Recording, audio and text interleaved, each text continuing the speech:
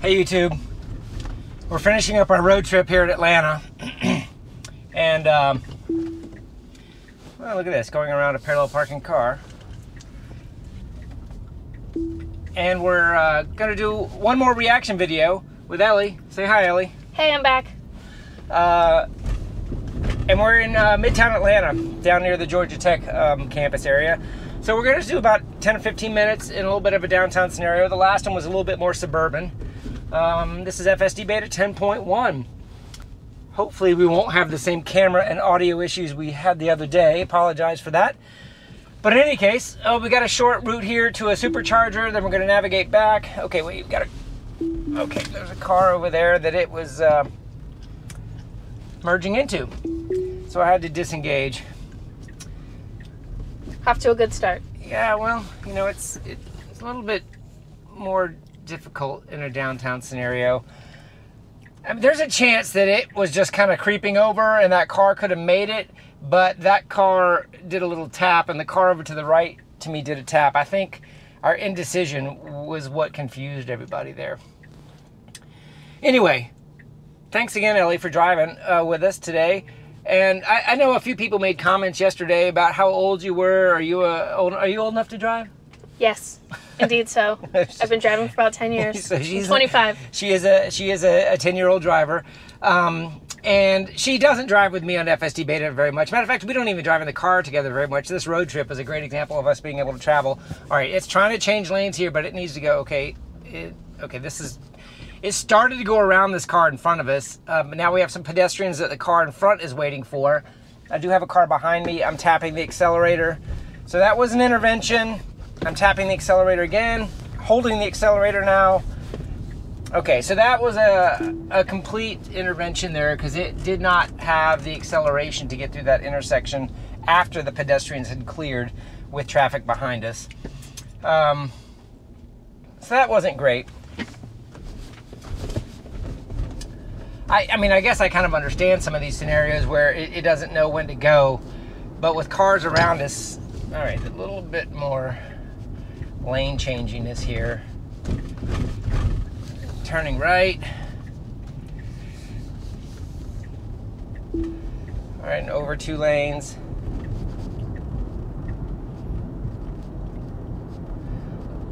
And look, on a nice straightaway, everything's smooth. So it's it's all about turns, traffic, and interactions that kind of makes it crazy. It feels like. I mean, I don't know. How would you characterize that last few minutes there? Um, I would say this drive is definitely a lot different than our last one. Just that the airway we were in last time, it was kind of simple and not a lot of opportunities for scenarios. In Atlanta, where we are, there's a lot of different, you know, scooters, there's cars, there's weird turns, pedestrians kind of going whenever. So I feel like it's kind of expected. Yeah, well, it's learning. We're kind of seeing how it goes. Yeah, yeah. I mean, obviously we hope for the best, but you got to sort of expect the worst when you're when you're the one safety driving here.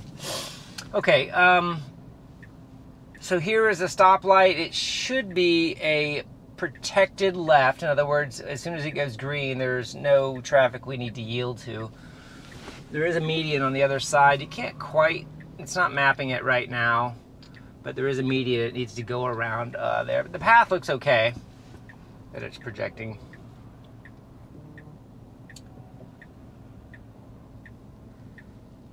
Yeah, we've been uh, driving a little bit in Atlanta the last uh, few days, and it it's like every intersection or pedestrian encounter is another opportunity for a 60% success rate, if that makes sense. It's, so it's like it makes good decisions a lot of the time, but every time you have an interaction, it's kind of 60% right, and that means a lot more interactions that don't work out.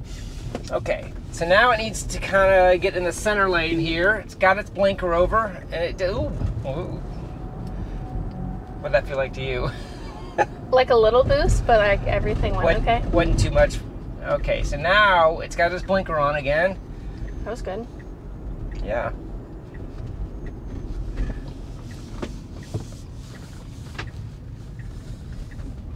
Not a bad turn. Not bad. There's like a bus, a party bus right there. Yeah, so it, it chose kind of a, a, a, a road I actually haven't used yet, and there's very little traffic, but there ended up being some parked cars. Now here we are, some cones. Um,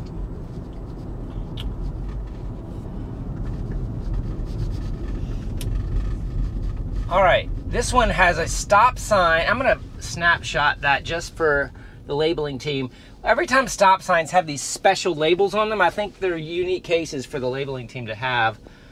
All right, what's it doing here? It's creeping for visibility. It's wide open, so it didn't really have to interact with anything. So that felt nice and smooth, uh, but absent any car traffic, there's no way to know uh, really how successful it would have been. So wow, once we hopped out of out of the actual midtown and crossed that interstate, it kind of all the traffic went away, and it's more of a, a road uh, obstacle course.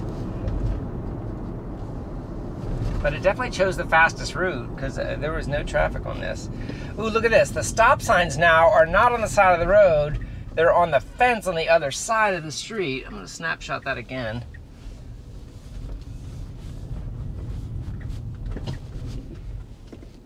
Uh, What do you...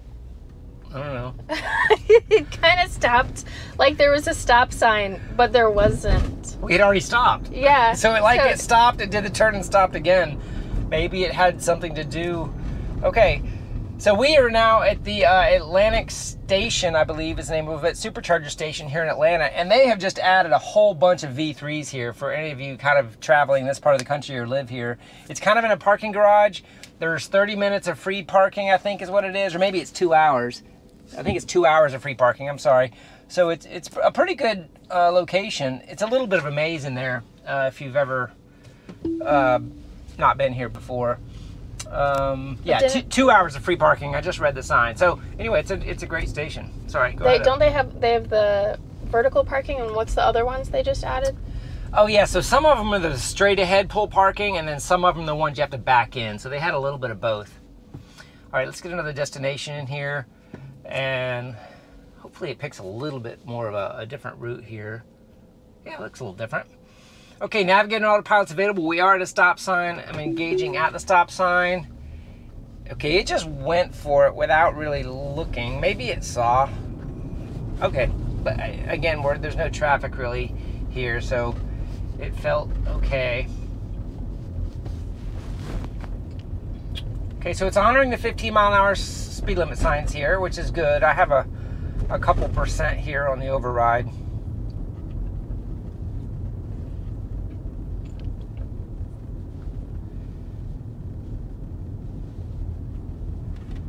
Actually, I should have that up there. Sorry, I didn't have the widescreen view displayed.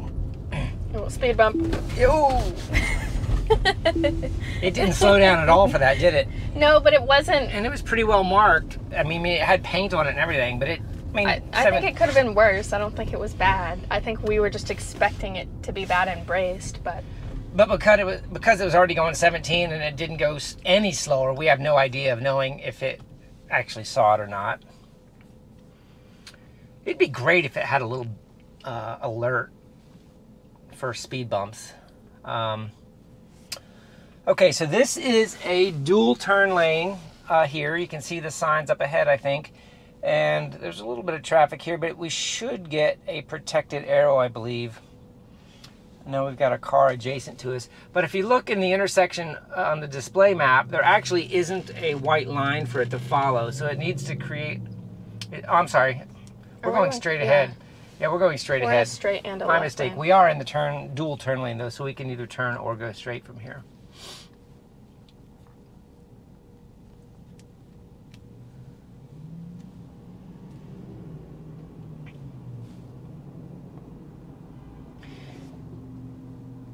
Look at these dancing lines on the crosswalk. It didn't quite.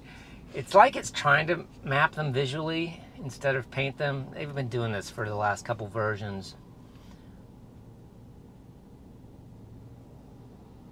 Doesn't quite give you confidence that it knows what it sees, does it?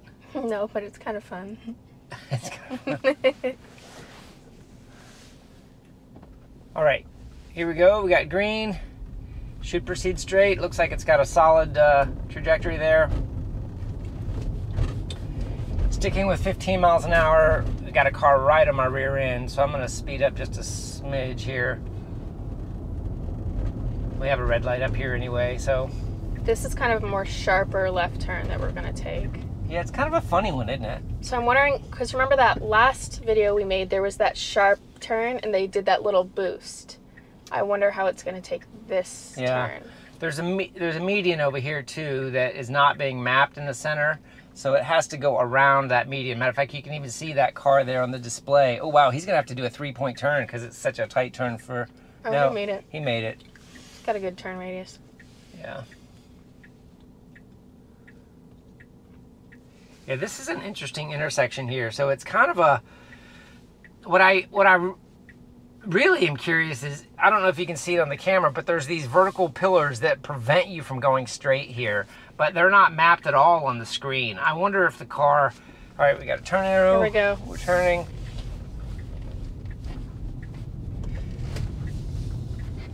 Okay, What do you think? that was good. Not it bad. didn't do the boost. Yeah. It kind of like went straight a little bit and then it turned. So it Yeah. didn't kind of make a full. Did it feel smooth, like it already knew what it was going to do, or did it feel like it was going to figure it out along the way? Kind of along the way. Yeah. To me, it felt like it was vision looking and finding the path, and you know it couldn't see it when it started the turn, so it kind of went a little adjustment, a little adjustment, and those adjustments were a little jerky, but it, it did never stop. It was just a, not a smooth, fluid maneuver. Yeah, I agree. And it didn't ever feel like a like a boost. Just Yeah. little jolts. Yeah, I agree with that.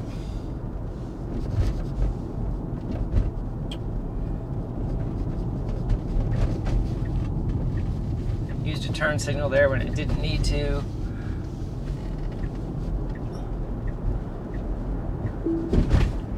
Okay, so it's jumping on this access road here a little bit. It needs to get over two lanes. There's no traffic for it to deal with, so it can pretty much do whatever it needs crossed a white line, and we've talked about that in past videos. Got a solid green, so it should just roll this. Oh, oh. Okay, we're good. There was a boost, though, wasn't it? yeah, Okay, yellow, is it gonna go for it? Looks like it's going for it. we like yellows here. All right, what do you think about what it just did? Uh, that was an experience to say the least. Um, it was it was smooth. You just didn't really know what was going to happen, but it it did it. It did it fine. There was no traffic, so it didn't No. have to fight anybody to get to do what it needed to do. And okay, absent. Okay, there's a car coming. It needs to wait. They're turning right, but signals are not always 100% indication of intent. All right, let's see. It's trying a right on red here. It's got to go around. Ooh, oh my god, barricade! okay. Did you think it was going to hit that barricade? yeah. Okay. It might have. I had to disengage there. I, it's almost like it wasn't mapping that barricade as drivable space. There's a lot of construction kind of where we are. So it was like a wall of barricades and then like fences on top of the barricades. Yeah, we'll have the camera um, probably see that pretty well. Um, I'm not sure how close we got. We might have set off the ultrasonic sensors that would have showed exactly, but it was it was it was close. It was closer than I would have ever driven as as a human. Probably you too. Yeah. Um, interesting. So that might have been a vision versus map data issue. It might have thought there was a lane there, and it it was just I don't know. Okay. Pothole. Oh, okay.